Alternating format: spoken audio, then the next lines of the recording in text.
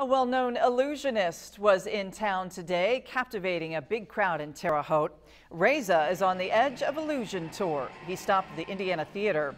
News 10 talked to Reza today before the performance. His tricks involve some magic and crowd interaction. Reza told us this journey started out as a dream.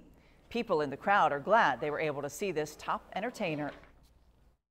When I was six years old, my parents bought me a magic kit, and so I just aspired to become uh, a magician one day, and now I want to inspire others to follow whatever passions they have in life. Some of these tricks and stuff that you see, I, I couldn't imagine how they are able to pull those off. My son likes to play with little, you know, uh, small magic uh, sets, so I just hope it, you know, makes him excited. Reza has been on networks like MTV, A&E, and the CW, just to name a few. The show moves on to Canada tomorrow. Well, it's going to